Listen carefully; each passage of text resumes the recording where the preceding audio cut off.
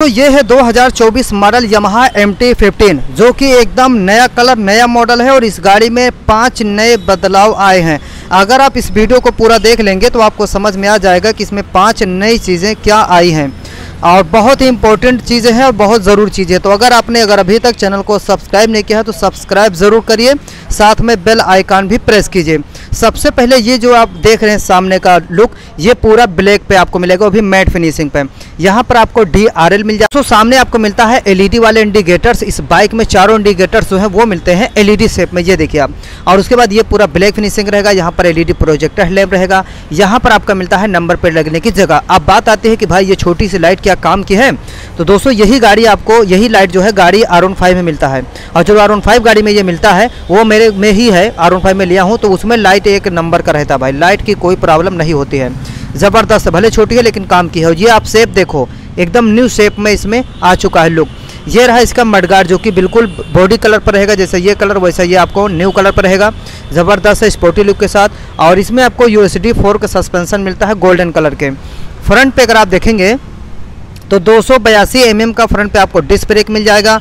Dual channel ABS आपको मिलेगा। सौ अस्सी सत्रह का ट्यूबलेस टायर भी मिल जाएगा। और व्हील जो है ये आपको ऑरेंज कलर पे मिलती है। आप स्क्रीन पर देख रहे हैं। सबसे नया इसका व्हील जो है वो कलर जो है। रिंग यहाँ पर बीच में आपको मिल जाती है काफ़ी न्यू शेप में। और इसमें आप देख सकते हैं यू डी फोर का रहेगा आपका। और सामने देखेंगे आप अगर फ्यूल टैंक है तो ये आपको ग्रीन मिलती है। ये देखिए आप, ठीक है? यहाँ पर आपका एम टी फिफ्टीन लिखा मिल जाएगा। और एम टी एक सौ पच्चीस भी आने वाली है भाई। बहुत जल्द मिलेगी वीडियो। सब्सक्राइब कर लो चैनल। यहाँ पर आपका ये न्यू ग्राफिक्स मिलेगा, ये मेट ब्लैक रहेगा।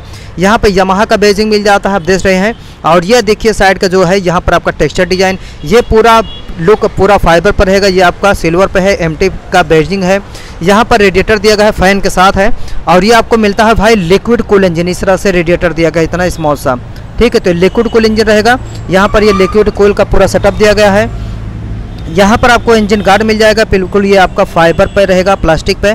और इंजन जो इसके अंदर मिलता है, वो 155 सीसी लिक्विड कूल इंजन दिया गया है सिंगल सिलेंडर फोर स्टॉक और इसमें चार वाल मिलते हैं और ये आपको माइलेज देती है 40 का।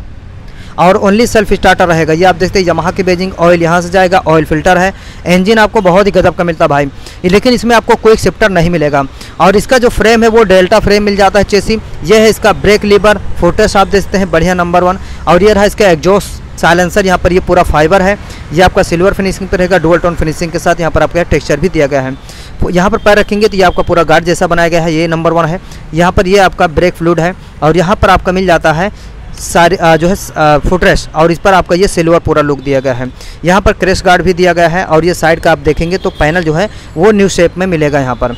अभी सीट की बात आती है तो सीट आपको एक नंबर की मिल जाती है। सीट काफ़ी बढ़िया लंबी चौड़ी रहने वाली है। ये आपका मैट ब्लैक फिनिशिंग पूरा रहने वाला है। उसी के नीचे आपको मिलता है यमहा का नया बेजिंग नया स्टिकर नया ग्राफिक्स ये देखिए। ज़बरदस्त। और ये रहा इसका फ्यूल टैंक। अब फ्यूल टैंक आपको मेट ब्लैक के साथ इस कलर में डोल टोन रहेगा। यहाँ पर लोगो ई ट्वेंटी का ये आपका फ्यूल टैंक का कैप है। ये रहा इसका एग्नेशन पूरा फुली डिजिटल मीटर इस गाड़ी में मिलता है। वो भी गियर इंडिकेटर के साथ ये देखिए। यहाँ पर हाई बड्डी लिखा रहेगा, यहाँ पर फ्यूल बताएगा।